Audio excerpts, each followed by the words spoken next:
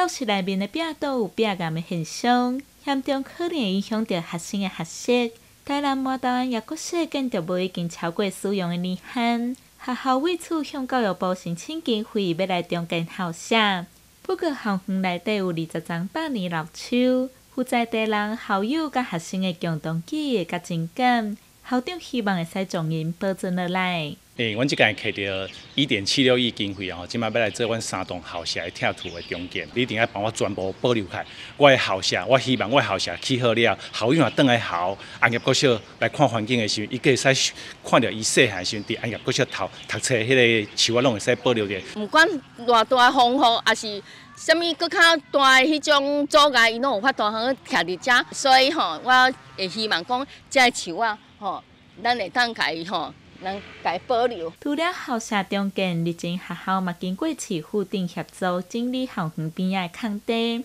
互百公尺的长体中建方法，嘛因此变成学校课程诶外教材。拄好，阮即摆囡仔愈来愈侪啊啦吼，小朋友愈来愈侪，那家长伫遮上下学吼接送其实做大诶困扰，所以我希望会使用即块、即、即块大堂诶土地吼，来规划阮学校，甲小朋友会使伫遮做一个家长接送区，嘛，同时互阮边仔围墙边即条会使做一个同学步道，互阮小朋友甲家长经过即个所在会较安全，啊，佮互咱附近的民众会使来遮运动，互咱整个社区的环境会较较水啦。在我当前，俺国小连四十人都无够，更是面临着废校危机。经过市长努力找出家己的特色，现在学生人数突破百人，希望保留百年老树，守护校友甲学生的共同回忆。